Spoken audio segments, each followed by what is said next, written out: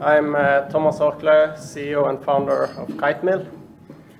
Uh, now we are talking about the next generation wind power technology. Airborne wind is an energy technology that can make us capable of reach net zero in 2050. It can have a significant impact. And the way it's working is that the kite, see if the video runs. oh, yeah, perfect.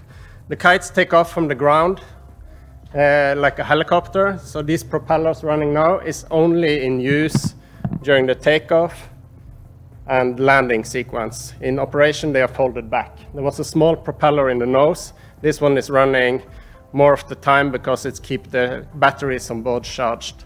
There is no conductors in the tether to the ground, but there is a tether to the ground, and that's how we transmit the, the energy.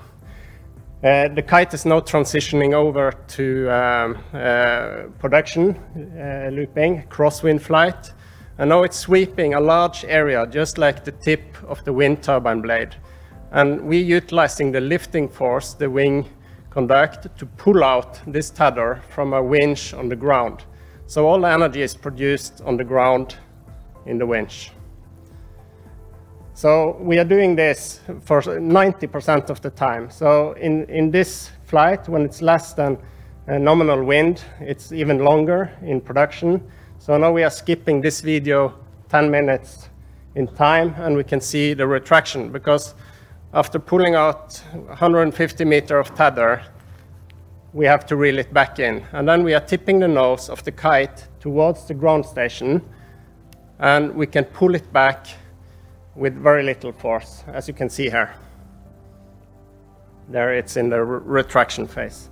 And now it's ready to enter into a new production phase again.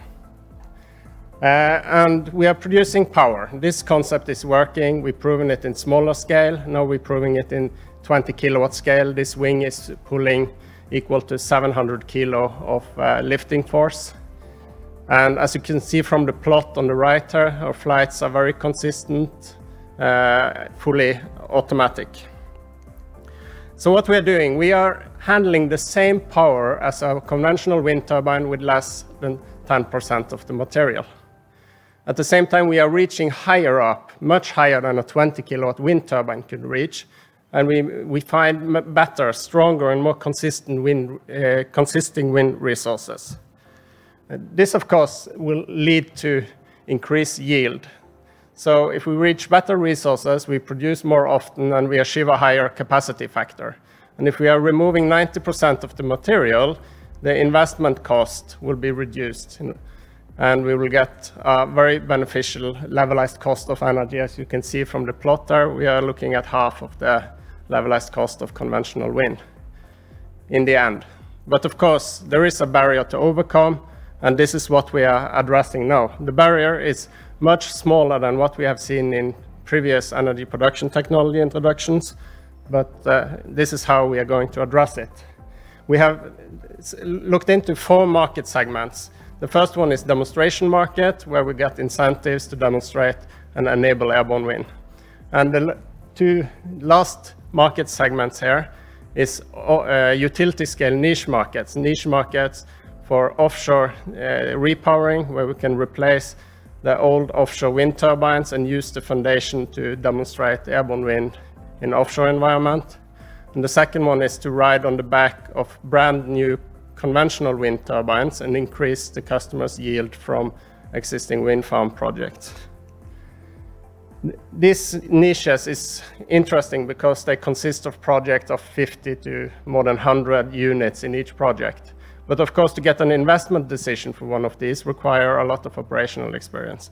So our task now is to build up a pipeline of smaller projects so we can accumulate the operational experience we need to qualify for these utility scale niches. The team that is doing this is a team of 20 uh, skilled engineers from seven nations. We are strongly backed up by uh, industrial partners. Uh, and what we have achieved the past years to take conceptual choices that have become normative for the rest of the industry.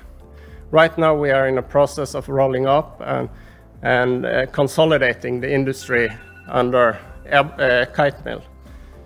Um, so um, tidying up the fields for you to invest in airborne wind.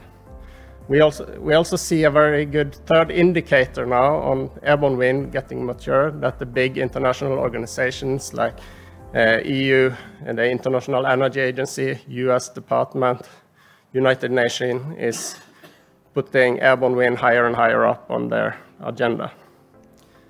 So we have a, a scale-up roadmap that leads to utility-scale systems. Uh, EU Innovation Fund have awarded Kitemill uh, a project of building 12 of the next version, that's a 100 kilowatt version, twice the wingspan of the one you see. And right now we need the fund to develop finish the development of this unit.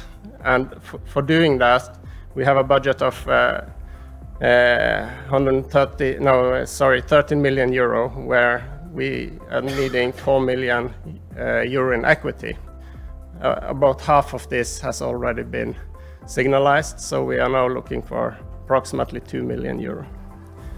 Uh, to discuss this, me and our CFO, Aska, will be at the Greenbacker stand, M60. Thank you. Thank you. Thank you very much indeed.